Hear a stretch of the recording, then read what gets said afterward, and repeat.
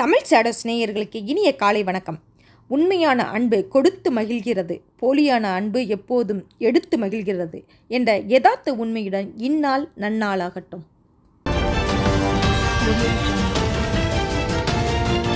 வணக்கம். தமிழ் சேடோஸ் வலையொலியின் செய்திகளுக்காக மகிழன் செல்லத்துறை.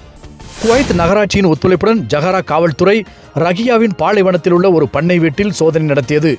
அதில் அந்த வீட்டின் உரிமையாளர் இரவு நேரங்களில் விருந்துகள் டிஸ்கோதே மற்றும் விபச்சார விடுதி என மாற்றப்பட்டதாக அல்ராய் தினசரி தெரிவித்துள்ளது.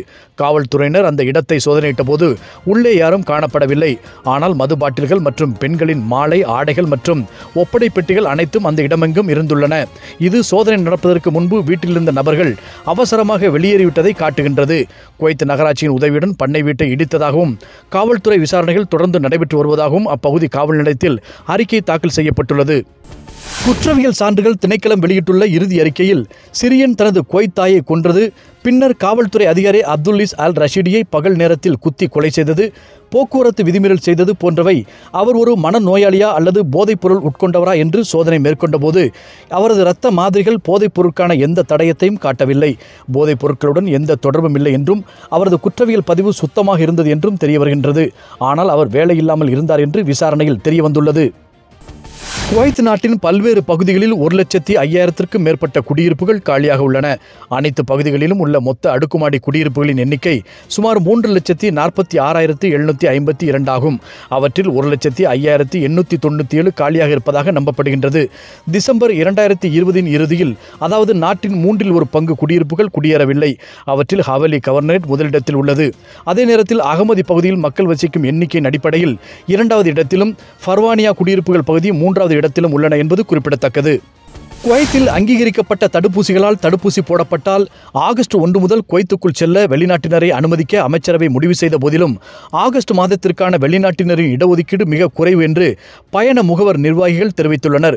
கடந்த ஆண்டு ஆகஸ்ட் மாதம் குவைத் விமான நிலையத்தை மூடியது மற்றும் பலர் மூன்றாம் நாடுகளில் சிக்கிக் கொண்டிருந்த நிலையில் பலர் தங்கள் சொந்த நாடுகளுக்கு திரும்ப வேண்டியிருந்ததால் வெளிநாட்டினர் பயணிக்க தயங்குகின்றார்கள். ஆகஸ்ட் முதல் இரண்டு வாரங்களில் விமானங்களுக்கான முன்பதிவு கணிசமாக அதிகரிக்கும் என்று எதிர்பார்க்கப்படுகின்றது. ஏனெனில் விமான நிலையத்தை திறப்பதற்கான முடிவு உண்மையானது மற்றும் கடந்த காலங்களில் செய்யப்பட்டது போல பின்வாங்குவதில்லை என்பதை வெளிநாட்டினர் உறுதிப்படுத்த விரும்புகின்றார்கள். பனிரெண்டு புதிய இடங்கள் பயணத்திற்காக திறக்கப்பட்ட நிலையில் குவைத் விமான நிலையம் இன்று நான்காயிரம் பயணிகளை ஏற்றிச் செல்லும். இருபத்தி ஐந்து விமானங்கள் பெரும்பாலும் துபாய் சவுதி அரேபியா துருக்கி மற்றும் கத்தார் ஆகிய நாடுகளுக்கு புறப்பட்டதை கண்டது. விமான நிலையத்தின் திறன் கடந்த வாரம் ஆயிரம் பயணிகளிடமிருந்து மூவாயிரத்தி ஐநூறு பயணிகளாக உயர்த்தப்பட்டுள்ளது. இந்த வாரம் ஒரு நாளைக்கு ஐயாயிரம் பயணிகளாக அது உயரும் என்று எதிர்பார்க்கப்படுகின்றது. இன்றைய தங்கத்தின் விலை மற்றும் பணமதிப்பின் நிலவரம். ஒரு கிராம் தங்கம் இருபத்தி நான்கு கேரட் பதினேழு தினார் இருநூறு ஃபில்ஸ் ஒரு கிராம் தங்கம் இருபத்தி இரண்டு கேரட் பதினாறு தினார் எழுநூறு ஃபில்ஸ் பணமதிப்பின் நிலவரம் இந்தியாவின் பணமதிப்பு இருநூத்தி நாற்பத்தி ஐந்து ரூபாய் நாற்பது காசுகள். இலங்கையின் பணமதிப்பு அறுநூத்தி ஐம்பத்தி ஏழு ரூபாய் எண்பத்தி ஒன்பது காசுகள். இதுபோன்ற செய்திகளை உடனுக்குடன் அறிந்து கொள்ள என்றும் இணைந்திருங்கள் தமிழ் சேடோஸ் வலையொலியுடன். நன்றி வணக்கம்.